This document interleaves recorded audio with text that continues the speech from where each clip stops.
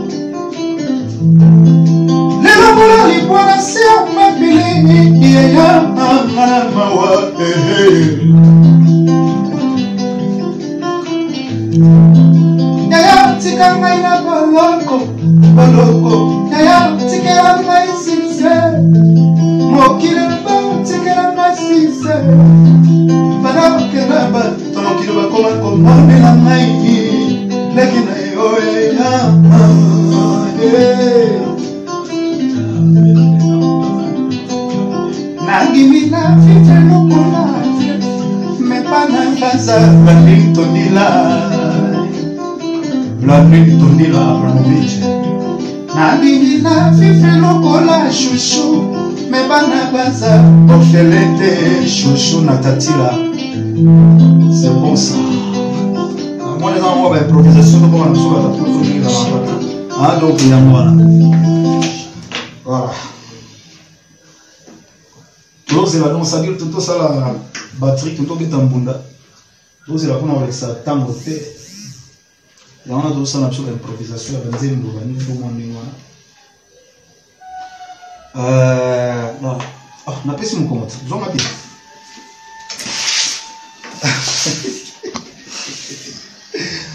osali nayebi ke ça fait longtemps depuis ba baconfinement ebandi mes fans bomoni ngai na télévision te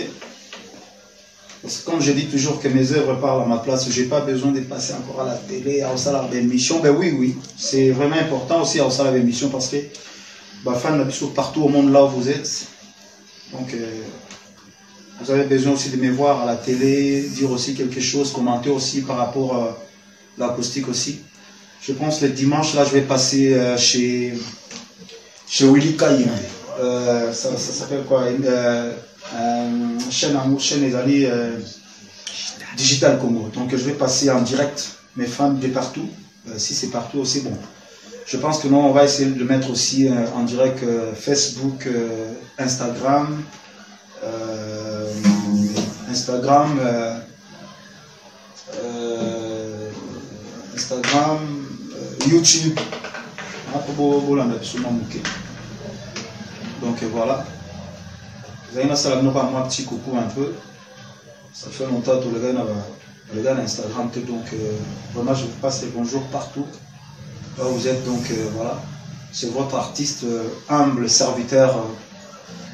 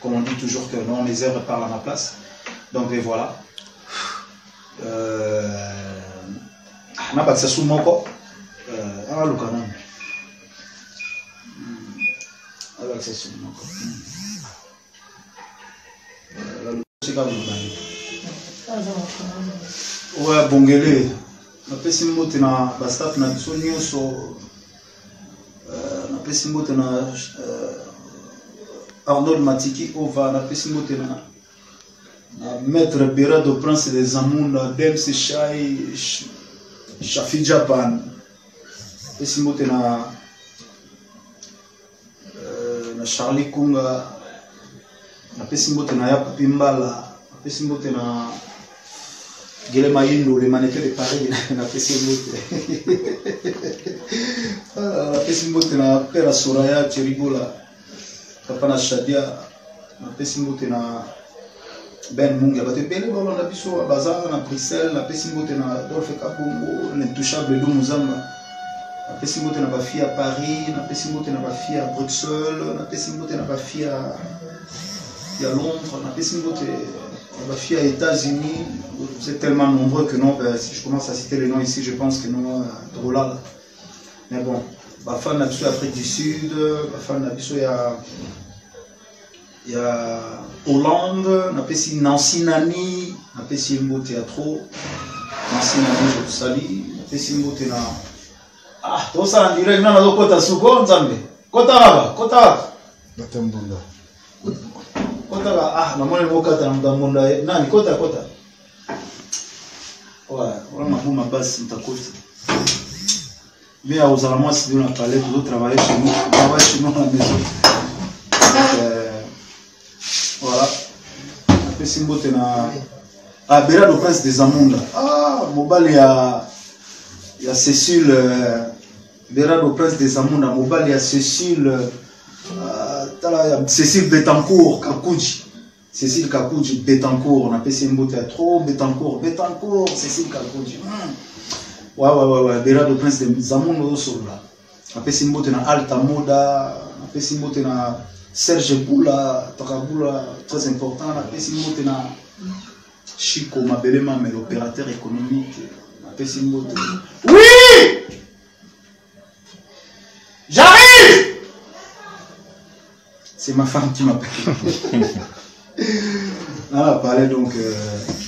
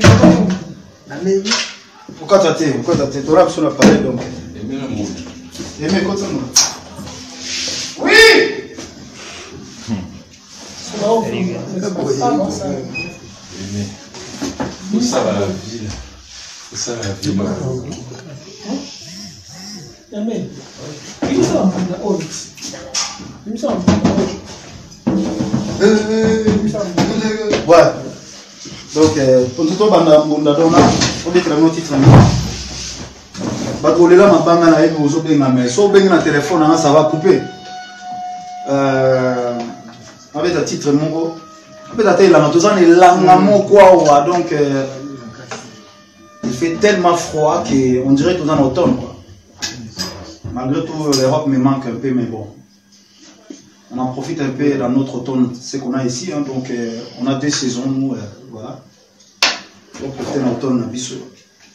totyaka elanga na nabeta elanga elanga elanga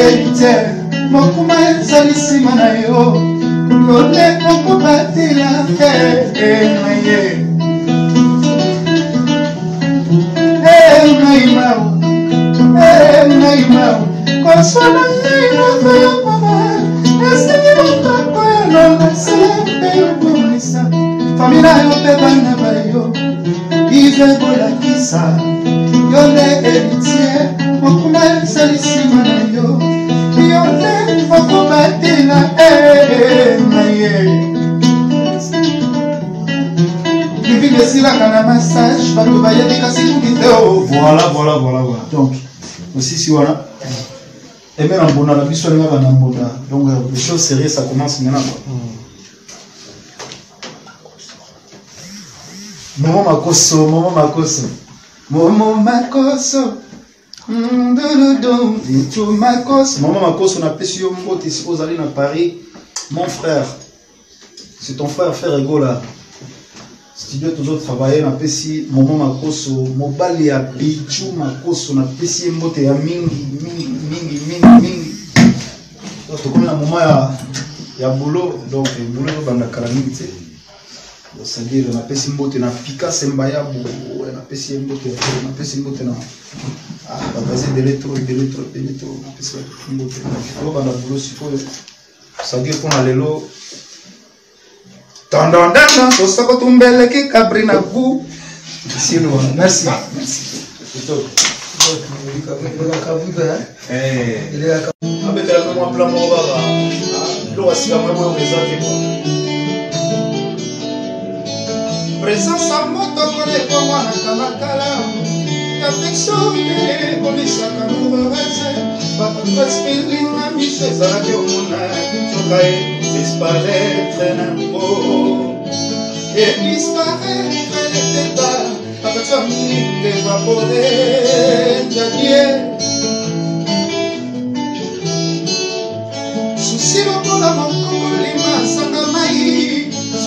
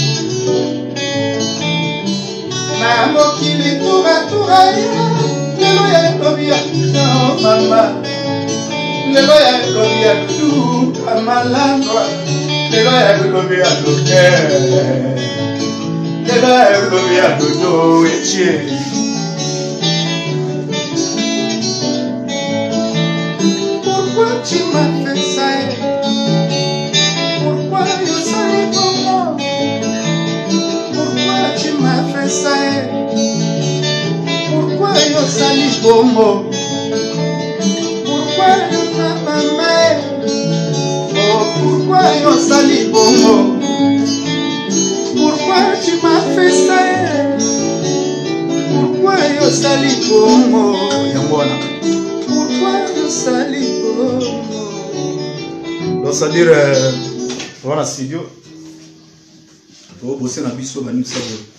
badeconfinement esili lelo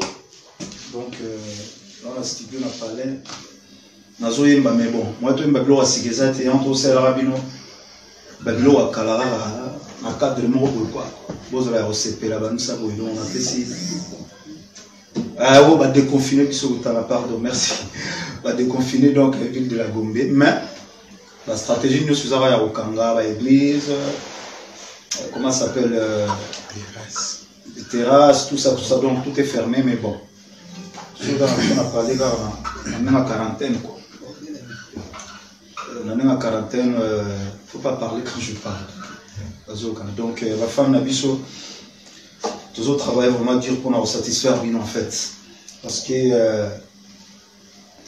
ah to se préparer kaka to bongama kaka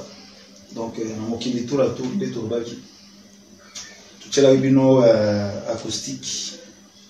pesa bino mwa ndenge ezalaka kaka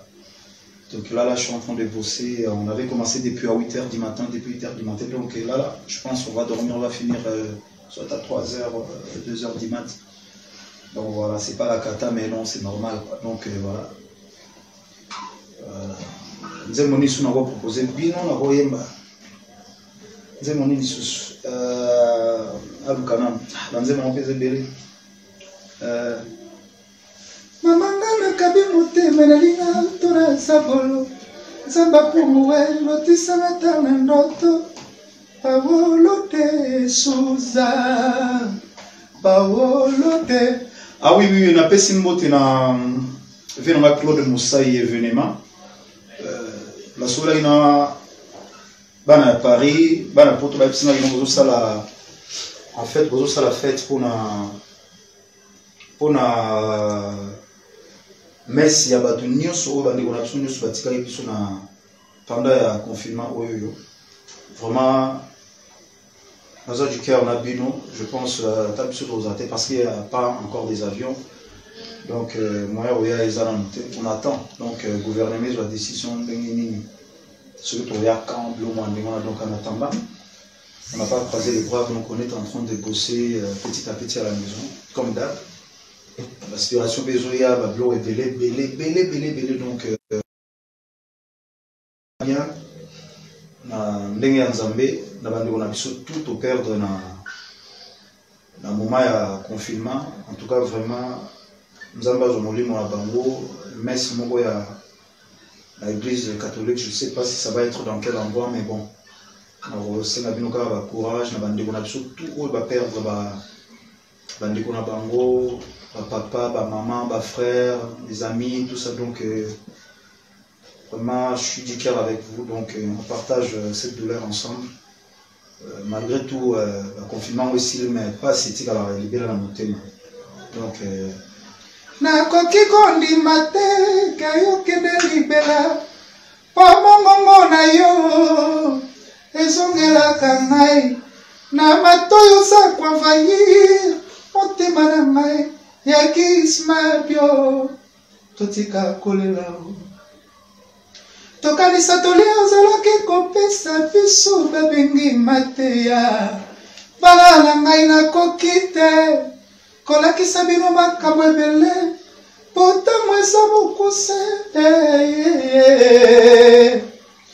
nakopesa bino mokongo saliloba nakokende nalingi nalakisa bino likambo moko babengi mateya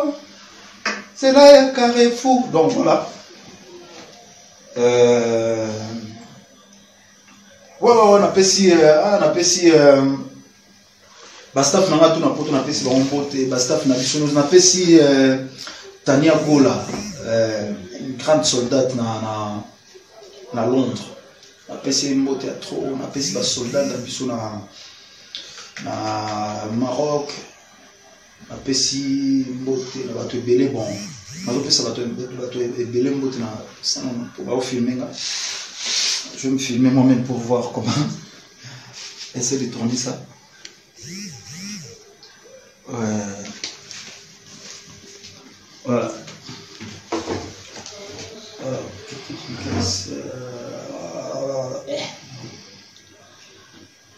Blandine, Blandine, Nzambe na bango